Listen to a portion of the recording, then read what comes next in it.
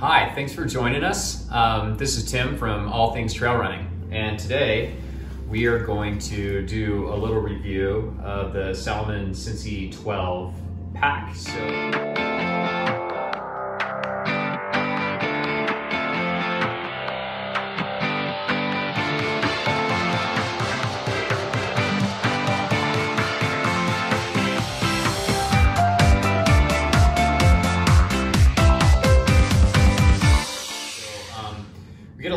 Questions about running packs and running vests, and um, all I can just talk about is from my own personal experience. And I've ran in several. I've ran in Nathan. I've ran in some other brands. Um, this is the brand that I keep coming back to, however, um, and they call it a vest. It's a hydration vest, um, and this is last year's model. Um, and I have gone through. I think I'm on the third generation of this particular vest hydration pack and um, absolutely love it. So I'm gonna talk a little bit about some of the features in it, um, why I like it so much, and um, even some of the things that I maybe don't like as much about it. But um, anyway, kind of starting off with um, just the amount of stuff that this vest can hold. Um, it is insanely roomy. There are pockets in the back, there are pockets up top to hold bladders and some other jackets and things like that.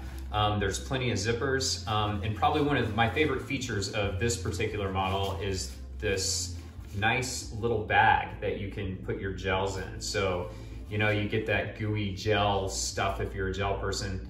Um, after you take a gel and you're like, what do I do with this thing?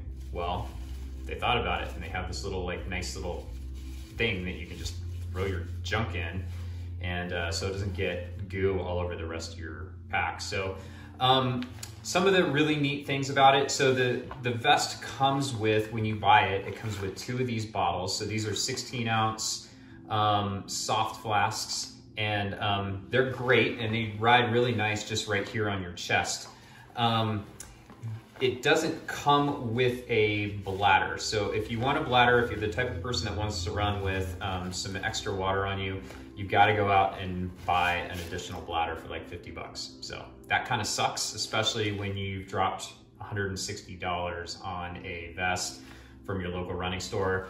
You got to go out and buy an additional hydration bladder if you want it. So um, that's kind of a downer for me, I think, in terms of um, what they could have done. But you know, hey, it is what it is. Some people don't like these smaller bladders. They want to get their own. So um, anyway, the and then if you route it in here, you just put the bladder in the back here and you can just run a hose right through the vest itself and into the back and it connects right underneath. So one really kind of cool thing and upgrade that they made this year that they didn't have last year. Last year, when you ran a hose, it would just go down along the outside of the vest and into the connection point.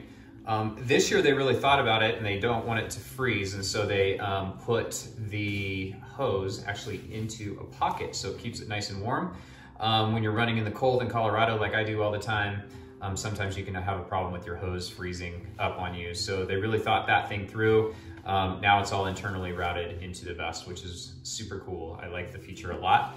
Um, the other upgrade that they made this year that I really, really like is the fact that they have this really nice water barrier in the back.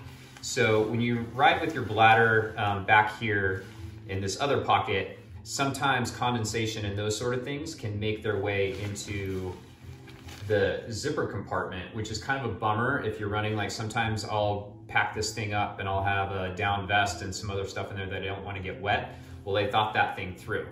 Um, the downside to that is that um, it can get kind of hot in the summer months. So I don't think it breathes as well as previous models, but the trade-off is that your stuff is gonna stay dry. I have had this thing fully loaded. So you figure I've got um, a liter and a half in the back, I've got two liters up front, so I have two and a half liters of water total on me, um, and then tons of nutrition. I have ran this vest in multiple hundred mile runs, and um, I have never ran out of room in this vest and it still rides like a vest. And so just to kind of demonstrate a little bit about how this thing attaches, it goes on really nice and easy. They have these really nice little rip cords that you can just snap right on and you're done. And as the pack unloads, like throughout your day, as you're eating more nutrition and stuff, you can just pull on this little strap here, tightens it up nice and snug around your around your chest. So um, I really like this thing for a ton of reasons. Um, another thing I wanted to kind of point out too is that there are multiple places to put your trekking poles if you're a trekking pole person.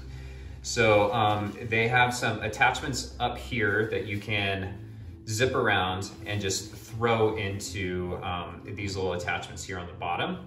You can also run your poles through the front and attach them down here at the bottom. Um, and what I do instead is, you know, they thought about it all and they're trying to sell extra stuff, I guess, but they have this amazing thing called a quiver. Now the quiver attaches really, really nicely to this vest. There's attachment points up top, there's attachment points in the bottom, and with the quiver, your poles just go right in there, just like um, right on your back. So you can just throw them back there. You can pull them out when you're in race, put them back. Um, I found this to be probably one of the most useful things, especially if you got a hilly race, a long race, um, whatnot. Um, I'd go out and buy one of these. They're amazing. So um, anyway, what else about this thing? It's got a, it comes with a whistle. Um, it's got a little pocket up here where you can put your sunglasses, just kind of fold those things up and put them in there. Um, also has a protected key pouch uh, here in the back where you can put your keys on a hook so you're not gonna lose those. Um, and like I said, multiple zipper pockets, um, holds just about anything you could ever want. Um, so that's it. I kind of ran through it pretty quick. Uh, feel free to email questions or post in the comments if you have anything particular that you want to know about. Um, like I said, I still have, uh, I think this is last year's or two years ago, I still carry this vest and I still rock this thing too. It's got a little bit different feature load on it, um, but I'm a huge fan of this new one. I think they did a really good job and got it right this time. So minus getting kind of sweaty in, in the heat, um, this thing should do you right. So um, post in the comments, like I said, if you have questions, um, we're just here to help. We're all just, you know, trail runners around Colorado. Um, some run long, some run short, but um, we're just here to kind of spread the news about different products and different things that have been working for us. So hopefully you don't have to go out and do all that research on your own. So anyway, uh, this is Tim from All Things Trail Running. Thanks for tuning in.